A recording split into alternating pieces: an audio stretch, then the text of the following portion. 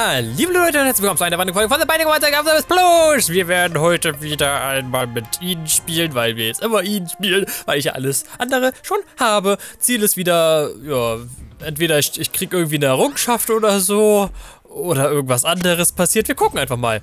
So, was haben wir denn von Anfang an? Wir sind stärker als normal. Ich weiß immer noch nicht, wie man in diesem Raum hier überleben soll, aber okay, irgendeinen Trick gibt es da bestimmt. Ähm, was haben wir sonst? Wir haben nur blaue Herzen, das ist ein bisschen kacke. Ansonsten haben wir noch Krebs, wie es aussieht. Krebs macht meines Wissens, äh, dass man nur die Hälfte des Schadens bekommt. Oder aber, dass man, wenn man einmal getroffen wird, dann erst die Hälfte des Schadens bekommt. Irgendwie sowas, Leute. Irgendwie sowas. Ich glaube, ich habe eben ein Schutzschild oder so bekommen. Aber was weiß ich denn? Da haben wir unser erstes Lebensupgrade. Das ist perfekt, denn dann könnten wir zumindest in der zweiten Ebene, also jetzt bräuchten wir das eigentlich noch nicht, aber in der zweiten Ebene könnten wir dann einen Devil Deal mitnehmen. Das sieht doch soweit ganz schön aus. Äh, Habe ich schon den goldenen Raum mitgenommen? Ja, der war gleich am Anfang. Das ist sehr nett. Cool. Ja, dann haben wir noch den Dead Bird hier gerade bekommen. Das heißt, der kommt raus, sobald wir auch einmal getroffen werden und macht dann Schaden zu den Gegnern. Das heißt, wir sind richtig cool drauf, wenn wir getroffen werden. Ansonsten haben wir eine Glatze, also eigentlich sind wir Eis... Nein, wir haben, wir haben doch Behaarung im, im Gesicht. Wir haben einen, einen italienischen Schnauzer. oh, Amiga. Äh, bu, bu, bueno, bueno. Äh, und so. Si, si, mi, mi amore. Keine Ahnung, ich, aber... Ich kann doch kein Italienisch. Ich kann vielleicht ein bisschen Spanisch, aber noch kein Italienisch. So, haben wir auch unseren ersten Cube of Meat. Ich glaube, ich will die auch nicht mehr machen, weil die goldene Raum habe ich ja schon. Ich laufe hier wieder durch wie sonst was, Leute. Ja, Ansonsten, letzten Tage kam nicht so viel. Es kam hier Forager eine, eine Folge, die tatsächlich besser angekommen ist, als ich dachte. Warum auch immer, weil ich habe es ja eigentlich schon mal gespielt. Bin ich mal gespannt, ob die nächsten Folgen, wenn es denn da nächste Folgen gibt, auch so gut ankommen. Aber hat auf jeden Fall mal wieder Spaß gemacht, das zu spielen. Äh, weil da gab es jetzt irgendwie ein neues Update, so ein Combat-Update und dann wollte ich da gerne mal wieder reingucken. Jetzt am Anfang hat man noch nicht so viel Neues gesehen, außer dass ich sehr schnell gestorben bin am Anfang. Aber ist okay. Äh, bin ich mal gespannt, ob sich da das verändert. Aber ob sich das überhaupt lohnt. Ich bin mir da noch unsicher, wie ich das genau aufnehmen soll, weil genau dasselbe machen wie damals ist ja jetzt auch nicht so interessant, oder? Also wenn ich da jetzt die ganzen neuen Inseln freischalte, die es halt damals schon gab und dann die Rätsel nochmal mache, die ich schon kenne, das ist doch irgendwie ein bisschen blöd. Oder wie seht ihr das, Leute? Ich, ich bin mir da unsicher. Ansonsten kam in den letzten Tagen ganz viel Sayonara Wild Hearts, worüber ich gerne auch mal reden wollen würde. Ich habe keine Bombe, warum nicht? Denn Sayonara Wild Hearts ist ein sehr schönes Spiel, Leute. Ein sehr, sehr schönes Spiel. Es ist so ein, naja, mehr oder weniger Rhythmus. Äh, ich, ich sag mal Musikspiel. Es ist kein, kein wirkliches Rhythmusspiel. Es ist ein Musikspiel, so ein träumisches Musikspiel. Aber eher, eher künstlerisches Spiel, wo man auf einem Motorrad rumfährt und komische Leute angreift und tötet und so. Aber mit sehr cooler Musik. Ich wurde hier gerade zweimal ganz doof getroffen und wir kriegen einfach Brimstone. Okay, cool. wir sind OP. Dieser Mann ist geschafft. Eigentlich bräuchte ich nicht mehr, mehr den goldenen Raum. Das finde ich sehr gut. Ja, aber Sayonara Wild Hearts, wer es noch nicht gesehen hat, gerne mal die, die Folgen angucken, die ich da so hochgeladen habe. Ich finde das Spiel richtig geil. Also es hat sich sehr schön Spiel tun lassen. Während des Spiels habe ich allerdings nicht geredet, das finden vielleicht einige von euch doof. Aber ist halt ein Musikspiel und da möchte ich nicht wirklich reden. Und es ist halt eher so künstlerisch und ja, zieht das einfach mal rein und genießt es. Voll, aber, jetzt kann ich aber sagen, in dem Spiel äh, sind so ganz viele verschiedene na, wie soll man sagen, so, so, hm, Bewegungsmuster? Hm. Beziehungsweise, die Steuerung ist halt anders, wenn du ähm, zum Beispiel mit dem Motorrad fährst oder wenn du läufst oder wenn du in der Luft bist oder wenn du, äh, was gibt's denn sonst noch? Oder wenn du mit dem Auto fährst. Das Auto war richtig scheiße, Leute.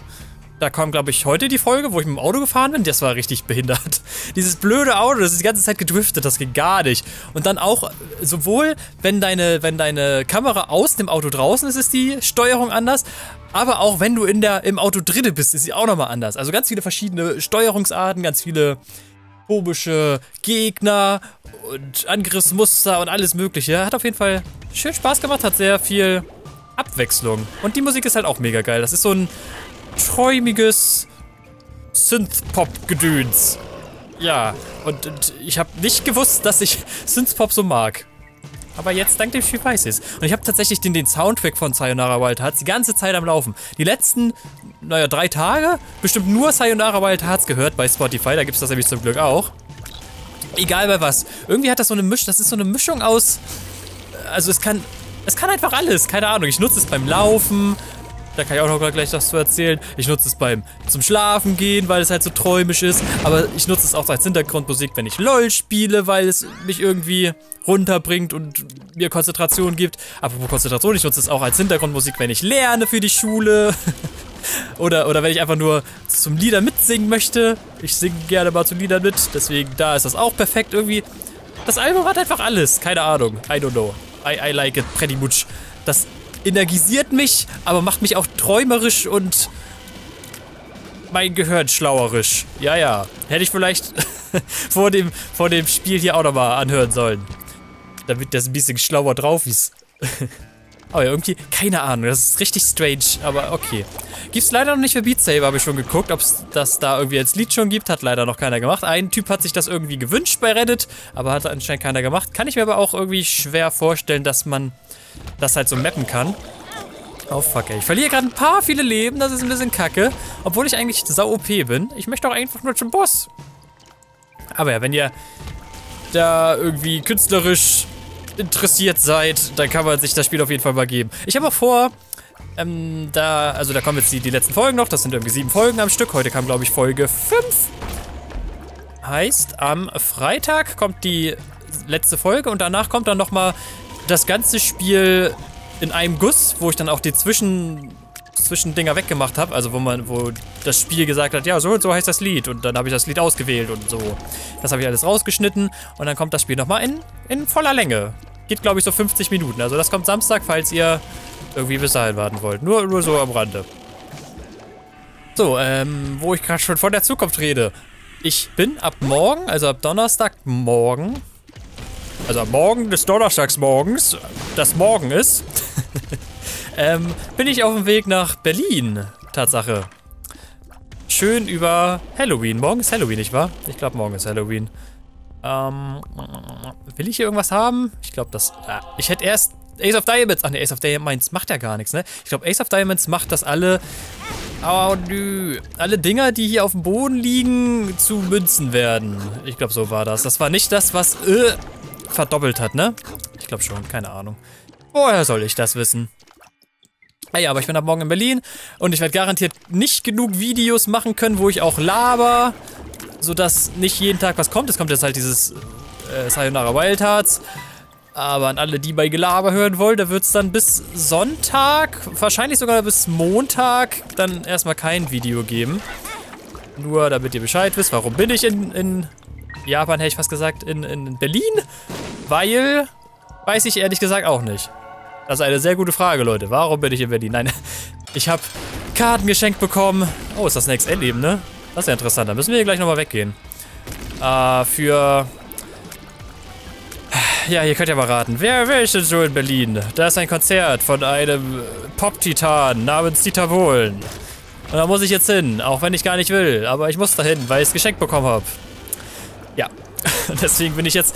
Warum auch nur vier Tage bin ich da? Ich weiß gar nicht, wann genau das Konzert ist. Es ist an irgendeinem Tag und ich bin jetzt halt vier Tage lang da, weil sonst lohnt sich das ja nicht oder so. Keine Ahnung. Bin ich ja schön, oder? Und ich, ich sterbe hier. Ich habe Brimstone und sterbe. Das kann nicht sein, Leute. Das geht nicht. Da bin ich mal gespannt, wie es ist. Ich bin jetzt nicht so der Modern Talking Fan. Beziehungsweise ist das, jetzt, ist das ja jetzt nur der Dieter.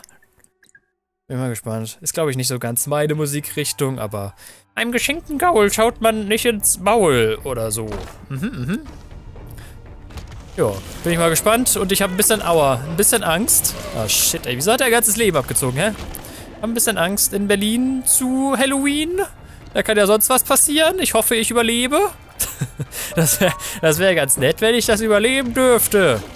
Also wenn ihr ab, sagen wir, ab, wenn ihr bis Mittwoch nichts mehr von mir hört, dann bin ich wahrscheinlich tot schaut in die Nachrichten, Leute, ob da irgendwas passiert ist in Berlin. Vielleicht irgendein Messerstecher, der da rumläuft und komische Dizzys absticht. Kann ja sein. Ich habe, glaube ich, ein falsches Bild von Berlin, aber irgendwie, irgendwie habe ich ein bisschen Angst vor Berlin. Weiß ich auch nicht. Wahrscheinlich ist Berlin eine ganz nette, eine richtig nette Stadt. So, was haben wir hier sonst so? Ah, wir könnten natürlich mal hier einfach unser... Oh, Bad Trip. Oh, addicted alles schlecht. Aber wir haben ja zum Glück noch die Gabis Paw. Das heißt, wir könnten... Oh, wenn wir Gabi werden würden. Leute, wenn wir Gubby werden würden und das mit Brimstone, dann sind wir richtig OP. Also so richtig OP. Da würden wir so viele Fliegen spawnen. Okay, Ziel für dieses für diesen One ist auf jeden Fall Gubby werden. Das wäre so krass mit Brimstone zusammen. Oder einen sechsfachen Brimstone bekommen. Hatte ich, glaube ich, einmal in meinem Leben. Einen sechs, sechsfachen? Weiß ich gar nicht. Geht das überhaupt? Ich hatte auf jeden Fall mal einen dreifachen. Und ich glaube... Warte, Ace of Diamonds möchte ich immer noch nicht. Warte, wir probieren mal ganz kurz aus, was... Genau, es hat einfach Sachen in Münzen umgewandelt. Wusste ich doch. Äh, Shop können wir auch mal gucken. Wir haben goldenen Schlüssel. Ja, was wollte ich sonst sagen? Mein Apple Arcade Monat ist jetzt um. Ich bin ganz froh, dass ich trotzdem noch Sayonara Wild Hearts jetzt da aufgenommen habe. Und das bedeutet im Umkehrschluss auch, dass... Oh, ich habe keine Bomben mehr. Oh, oh nö. Wieso habe ich denn keine Bomben? Ähm, dass Oceanhorn 2... 2? 3? 2? Oceanhorn 3? Wie viele Oceanhorns gibt es denn? Ich, ich bin mir nicht sicher. Äh, nicht mehr kommen... Oh, wird auf dem Kanal. Was macht Brimstone mit Tiny Planet? Ah ja, okay. Oh, kann, kann, kann man machen. Ich glaube, das ist nicht, ist nicht so schlimm, dass wir das jetzt mitgenommen haben. Ähm, ja, Ocean Horn wird nicht mehr kommen. Zum einen, weil die dritte Folge, die ich da aufgenommen habe, äh, mega behindert war. Beziehungsweise ich habe da den Sound leider nicht mit aufgenommen beziehungsweise Sound vom Spiel schon, aber mein, mein Mikrosound leider nicht. Heißt, ich müsste es dann nachsprechen und Ocean Horn ist irgendwie sowieso kein so geiles Spiel. Es hat eine geile Grafik und es lässt sich auch nett spielen und ist halt 3D und dafür, dass es auf dem iPad läuft und sowas, ist alles ganz geil. Aber rein von dem spielerischen Aspekt ist es halt wirklich nicht so gut. Und daher kann man, oder muss, muss man das nicht wirklich spielen, meiner Meinung nach. So, hier, kann, mir eigentlich nichts Gutes geben, was ich haben wollen würde. Aber ich habe mich gehört, es gibt mir ein Gabi-Item. Es ist unser zweites. Ein Gabi-Item und wir sind Gabi. Ich würde gern Gabi werden. Aber deswegen Oceanhorn wird nicht mehr kommen. Ist jetzt bei den zwei Folgen. Ich glaube, das waren zwei Folgen. Wird das bleiben. Heißt, da braucht ihr nicht auf irgendwas warten, aber ist okay, oder? Ist okay. Ist halt echt kein gutes Spiel. Cathedral auf der anderen Seite, wo der PSX, glaube ich, mal nachgefragt hat, wird noch kommen. Ich brauchte jetzt aber ein bisschen Pause erstmal, weil dieser komische Nekromanzer und sein ganzes Gebiet einfach mega kacke waren. Quacke. da habe ich richtig aufgeregt. da meinte Nicole auch, sie hat mich noch nie so, so, weiß ich nicht, gestresst, so nervig ge erlebt. Oder so genervt, besser gesagt. Ja. Kann ich mir vorstellen. War aber auch echt kacke, dieses Gebiet und dieser Boss und alles. Der ist einfach nicht stehen geblieben. Ah, deswegen, ich, ich habe auch nie irgendwie Mega Man oder sowas gespielt und ich glaube, Mega Man wäre dann auch nichts für mich. Bin ich auf jeden Fall gespannt, wie es da weitergeht. Aber Cathedral möchte ich auf jeden Fall durchspielen, also da keine Angst. Und dann mal gucken, was danach kommt. Vielleicht halt Hollow Knight oder was auch immer. Ja, aber mein Apple Arcade Monat habe ich jetzt nicht wirklich genutzt, möchte ich sagen. Ich habe halt ein paar Dinge ausgetestet da. Ich habe dieses Exit to Dungeon ausprobiert und ähm... Oh, okay äh, halt Oceanhorn und jetzt Sayonara Wild Heart. Das Sayonara Wild Heart hat mir auch am, am meisten Spaß gemacht tatsächlich. Das habe ich auch in einem Rutsch tatsächlich aufgenommen. Weil das auch der letzte Tag war, den ich Apple, Apple Arcade hatte. Ich hatte auch noch ein paar andere Spiele darunter geladen, zum Beispiel so ein Lego Brawler, der sah eigentlich auch ganz geil aus. Vor allem, weil man ihn halt auch mit dem Controller spielen konnte. Das ist sowieso das Geilste, dass es da so viele Spiele gibt, die man auch mit dem Controller spielen kann. Uh, aber ja, Monat ist jetzt vorbei und ich wollte jetzt nicht nochmal 5 Euro zahlen für so ein paar Handyspiele. Keine Ahnung. Von daher, das war halt jetzt so einmalig ein Probemonat. Und muss dann aber auch nicht sein. Nee, nee. Aber da müsst ihr auch aufpassen, Leute. Also wenn ihr Apple Arcade habt oder hattet oder wie auch immer, müsst ihr da auf jeden Fall auch beim Probemonat kündigen, weil sonst ziehen sie euch jeden Monat 5 Euro ab, auch wenn ihr es nicht nutzt. Oder gar nicht da, da angesprochen habt, dass ihr das überhaupt haben wollt. Ich kann mir vorstellen, dass einige bestimmt denken, ja, Probemonat, dann, dann ist halt fertig, ne? Aber nein, Leute, ist nicht so. Ist nicht fertig dann. Warte, wir sind schon beim Mom, ne? Deswegen nehme ich mal so World mit. Das wird uns später nämlich mehr bringen. Dann können wir hier schneller durchwaschen. Oh Gott, oh Gott. Ich bin... Äh, dieser Tiny Planet ist ja mega gut mit Brimstone. Damit ist man dann halt auch sicher um sich herum. Nicht nur vor sich, sondern überall. Und ich glaube, Tiny Planet macht sogar noch, dass man... Dass die Dingsreichweite weitergeht. Irgendwie, irgendwie sowas. die Tiers-Reichweite. Bringt zwar jetzt nicht so viel bei Brimstone, weil der sowieso unendliche Reichweite hat. Guck mal, wir hatten noch einen Little Brimstone. Müsste ich eigentlich mitnehmen, ne? Aber dann müsste ich hier das ganze Ding machen. Nee, nee, nee, nee, nee. Das wäre dann zwar ein zweiter Brimstone irgendwie, aber lass mal, lass mal lieber bleiben. Ja, was ist sonst so gewesen? Hier Zeitverschiebung, Leute. Ich hasse sie. Ich hasse Zeitverschiebung. Es ist jetzt, wo ich dieses Video aufnehme. Aua. Oh Gott, okay, ich muss mich doch noch mal ein bisschen konzentrieren hier. Äh, 17 Uhr, also 5 Uhr und es ist einfach schon dunkel.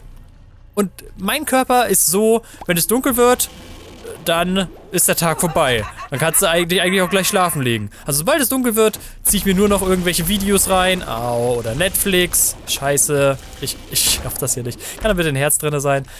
Ah, ich setze mal The World ein. Kann da bitte irgendwas Gutes sein in den Geheimraum? Sonst bin ich gleich tot.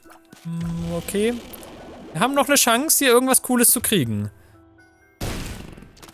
Okay, immerhin. Aber ich hätte viel lieber... Ja, gut. Nimm, nimm auf jeden Fall mit. Kann uns nämlich ab und zu mal irgendwas geben. Wir haben noch eine Bombe. Shit, ich brauche hier Dinger. Ja, aber Zeitverschiebung ist kacke. Denn jetzt ist mein Tag... Scheiße. Jetzt ist mein Tag immer nur so... Also hat, hat nur vier Sonnenstunden. Ich muss mich jetzt mal echt konzentrieren, dass ich hier jetzt nicht irgendwie dumm sterbe. An diesen Dingern kann man nämlich sehr leicht dumm sterben. Scheiße. Meh. Das war der One, Leute. Ja, Zeitverschiebung ist kacke, genauso wie dieser One. Das war eigentlich ein guter One. Wieso? Ich, ich habe die Befürchtung, dass ich, wenn ich Brimstone habe, häufiger sterbe, als wenn ich irgendeine Kacke habe. Obwohl Brimstone so OP ist. Ja, gut, das war der Windstreak von 2. Jetzt ist er wieder bei 0. Eine sehr kurze Folge. Sie wäre aber auch so nicht länger gewesen, weil mit Brimstone wäre man da ganz schnell durchgekommen. Meh? Was zum Fick? Wieso bin ich so schnell gestorben? Ja, ich wurde oft getroffen. Das ist richtig, Leute. Gut, dann war's auch mit dieser kurzen Folge dann seht das so, dann kann ich vielleicht noch ein bisschen mehr aufnehmen, damit die nächsten Tage auch was kommt. Ja, ja. vielen Dank fürs Zuschauen, Leute. Bis zum nächsten Mal und tschüss.